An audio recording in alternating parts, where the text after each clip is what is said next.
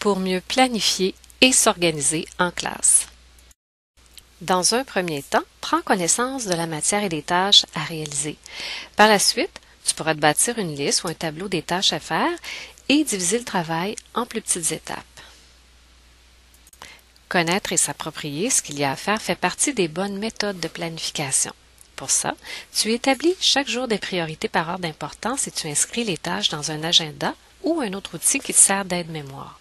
Tu peux également utiliser la procédure ou la liste de tâches qui a été fournie par l'enseignant et une fois ça fait, tu coches au fur et à mesure les tâches complétées.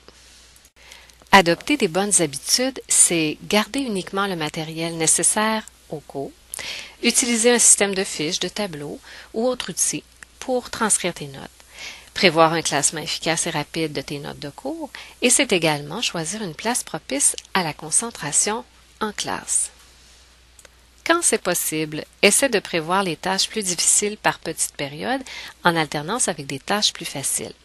Pour t'aider à rester motivé, entoure-toi de gens qui aiment travailler et évite de garder à portée de main les grugeurs de temps, comme les appareils électroniques. Peux aussi utiliser ou trouver tes propres stratégies, tu en connais sûrement.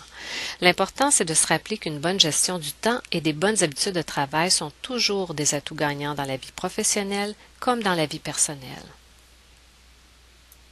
Ne reste plus qu'à te mettre au travail. C'est maintenant à toi de jouer.